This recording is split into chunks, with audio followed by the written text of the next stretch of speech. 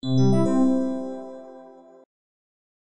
binary search has a prerequisite, which is a condition that must be met before the algorithm will work correctly.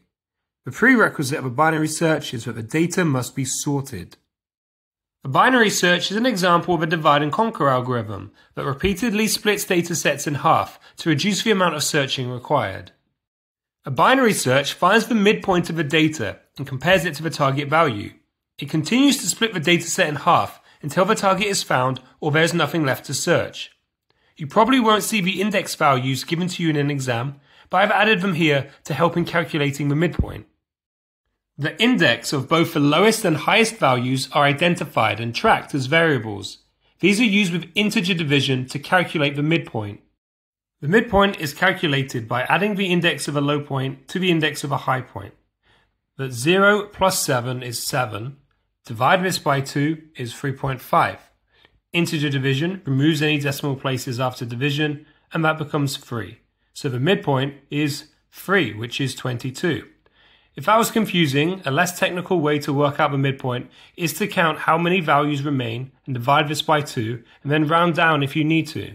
So here there are 8 values, divide this by 2, and the midpoint will be the fourth value along. The target value is compared to the midpoint, there are three checks that take place. If the target value is less than the midpoint, then you will ignore the upper half of the list. If the target value is more than the midpoint, then you ignore the lower half of the list. And if the target value is the same as the midpoint, then the target has been found, and the search can stop. In this example, we are searching for 40, and 40 is greater than 22. So the lower half can be ignored as it cannot possibly be located in that half. That is why sorting the list is a necessary prerequisite, so that it isn't accidentally ignored. A new midpoint is calculated every time the list is halved. First, the new low point and high point are identified. The new midpoint is in index 5. That's because the low point, 4, is added to the high point, 7, to make 11. 11 divided by 2 is 5.5, and with integer division, the decimal is removed for just 5.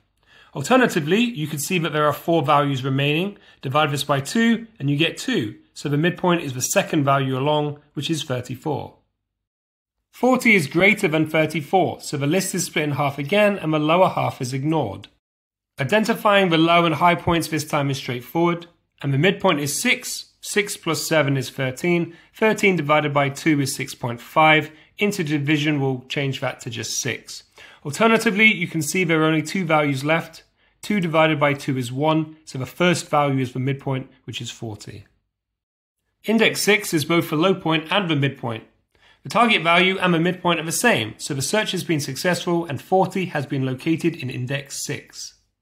The main benefit of using a binary search is that it's generally much faster and more efficient than a linear search, especially for large data sets, as it does not need to compare each value sequentially.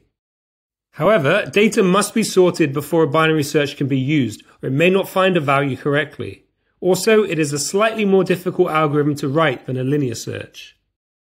In the OCR GCSE, you do not need to memorize any searching or sorting algorithm code, but you may be shown code and asked to identify which algorithm it is. The two main clues for identifying a binary search is that you should be able to spot a midpoint, low point, and high point being calculated. Also, a while loop will be used to repeatedly compare the midpoint to a target value.